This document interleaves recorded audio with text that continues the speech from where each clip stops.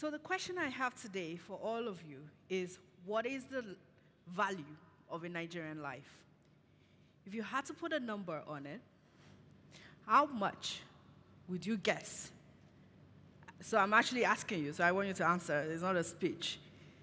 What number? If you had to put a number on it? Anyone? 500,000? Huh? Five naira? Huh? More? More? Less? More? 10 billion. More than that? Priceless. Okay. So let me give you a context. So imagine that you have someone who's close to you, a woman, she's pregnant, she's gone to a hospital to give birth, right? And she starts bleeding. Then she bleeds and bleeds and dies. How much would you imagine and how much would you demand from the institution that failed to ensure that the hospital where she went to give birth had enough blood and had enough injections and had enough everything that she needed to live? So that's the context. What really is the value of one Nigerian life? So we did the math and we found two formulas. The first one is called QALY. It is quality adjusted life year. It's generally used to figure out what intervention, what medical intervention you're going to give to a particular community. How much should you value the life that you give to people by building medical interventions? Then we found a different formula. This one is a sort of like a GDP based formula. And what it does is it was created by Dr. Ted Miller, who crunched, crunched some numbers and gave a formula that says if you take the GDP per capita of a particular economy and you multiply it by 120, you get the value of that human life in that community. So we did the math and we found the number for Nigeria. It is 86 million naira. So each Nigerian life is worth 86 million naira. So that's the context of what I'm going to talk to you about today. I started this speech with something, I mentioned a woman who's given birth. What do we really believe a woman's life is worth? When they go to the hospital and they get pregnant and they give birth, what is the value we are attaching to what they're giving to our community? What is the value that we attach not, to their, not just to their life, which is important, but to the process of giving birth, the process of giving life. The saddest part, and the thing that always bothers me the most, is that we don't even know. We have never bothered as a people to count each and every woman who has died in childbirth. How much more are we, what, what are we telling them? That their life is so worthless. That what we are, the service they are providing to our community is worth nothing, that we have never bothered to count them, to bear witness to the service they have given us. So the UNFPA did crunch some numbers all over the world, and they said every two minutes, a woman dies in childbirth. And by the way, Nigeria has the second largest cumulative number of childbirth deaths in the entire world. India is number one and Nigeria is number two. And yet we've never bothered to count. Our government says it's 58,000 women every year. But that's just extrapolation. There are many women whose lives, whose service, whose death nobody bears witness to. The fact that we don't know bothers me greatly because we can't even charge the government for all this death. We can't charge our community for all this death we don't have the number. So before I move on, I'll ask you how many of you have a mom? Raise your hand if you have a mom. If you were born by a woman, please raise your hand. Huh? So mothers matter.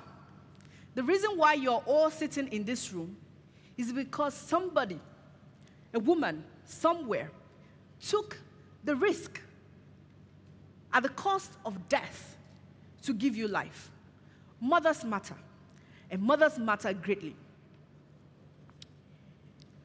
Mothers matter to the economy, mothers matter to the, to the health of the family, mothers matter particularly to the children who they give birth to.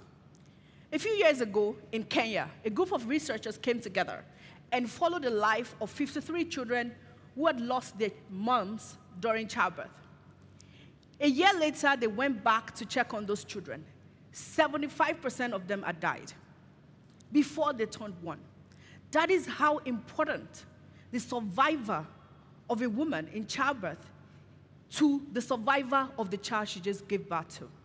It is important to the economy, it is important to the family, it is important, essential to the world. Mothers matter. And we know that it's possible to do. We know that we can get it done.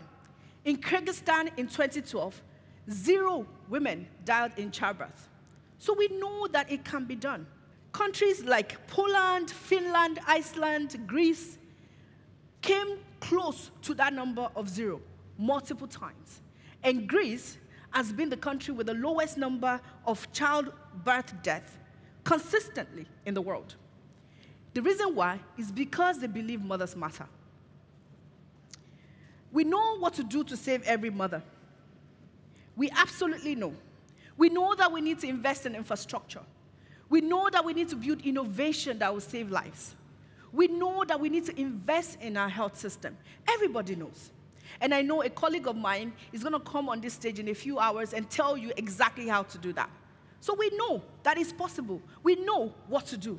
So why are we saying, through our silence, through our lack of bearing witness, that moms don't matter? At Life Bank, we've been working to get this done. In the last three years, I've run this company trying to ensure that every hospital who needs blood gets access to the blood they need. We've saved about 2,500 lives since then.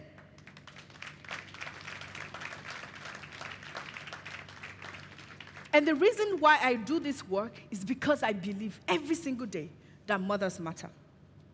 So I want to ask you to do one thing for me. Can you imagine a world where zero maternal death occurs?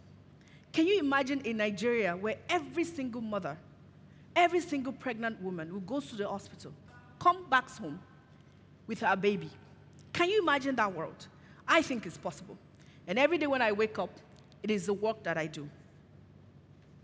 My mission is to bring that 58,000 deaths that our government gives us, that extrapolation, to zero. And I hope you join my mission.